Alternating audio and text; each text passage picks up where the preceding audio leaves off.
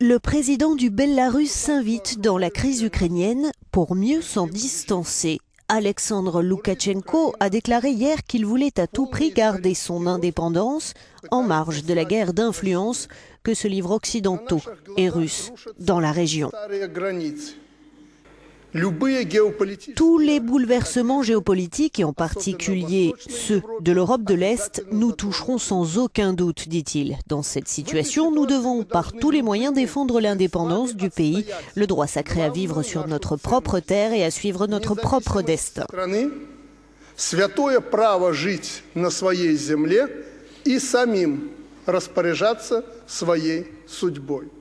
Le Belarus, État frontalier de l'Union européenne et de la Russie, est un pays au régime autoritaire dont l'économie est étroitement dépendante des approvisionnements de gaz et de pétrole russe. Il fait partie de l'union douanière promue par la Russie et qui comprend aussi le Kazakhstan.